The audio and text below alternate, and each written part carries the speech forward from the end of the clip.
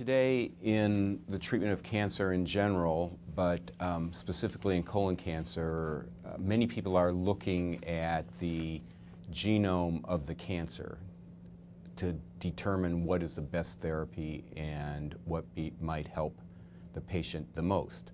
So this is not the patient's germline DNA, this is really the changes that have resulted in the tumor becoming malignant. One of the main ones that is useful today in colorectal cancer is testing for RAS mutation. Uh, previously, uh, and what most uh, oncologists are used to hearing today is about the KRAS mutation, which would, is specifically the mutations in codons 12 and 13 of exon 2 of the KRAS gene.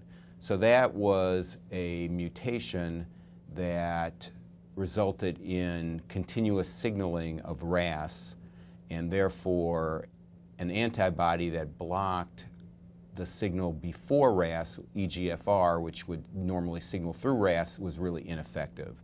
Essentially, the circuit breaker was left in the open position, and even if you tried turning off EGFR signaling, it didn't work. So that was um, a result of looking retrospectively at some of the early studies with anti-EGFR antibodies versus placebo. And then in all the other studies that had come after that, where we used combination chemotherapy, we looked at the data and indeed KRAS 1213 mutation predicted for lack of benefit for drugs like cetuximab or panitumumab.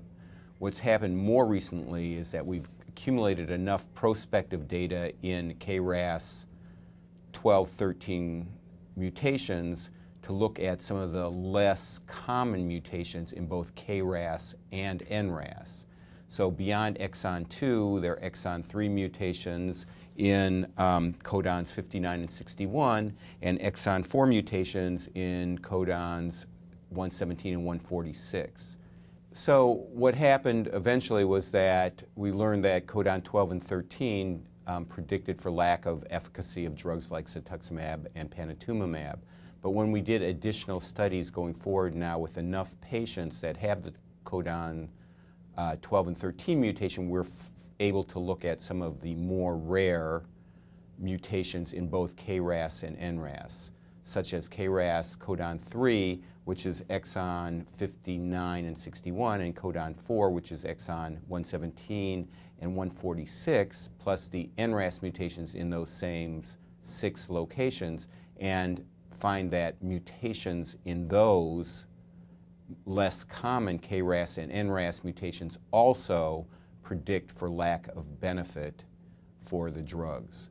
And that accounts for about 15% of colorectal cancers that would be considered KRAS codon 1213 wild type. They have these more rare other RAS mutations. So I think today we're calling this expanded RAS mutation where you're testing for all 12 of these mutations and we find that's true instead of 45% of colorectal cancer, now you're up to about 60% of colorectal cancer that has some expanded RAS mutation present. And then you would not use um, anti-EGFR antibodies for those patients. Right. So this is a tough problem today because the FDA hasn't gone around and approved any expanded RAS test yet. And um, you kind of have to discuss with your pathologist who may be doing such tests and where they're available.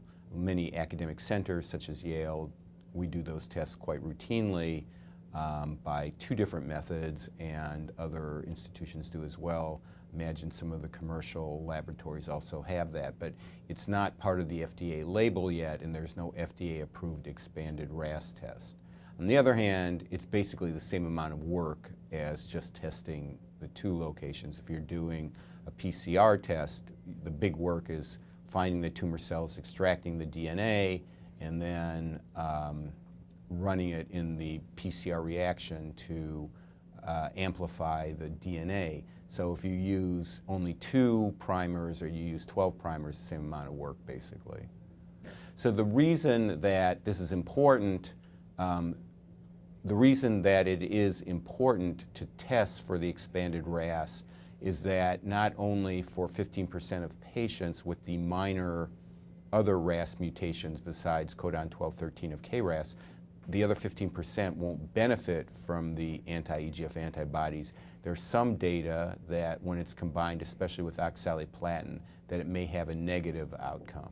So I think that today when you treat colorectal cancer, it's incumbent upon the oncologist to know the entire expanded RAS status before you start giving these drugs in combination with chemotherapy.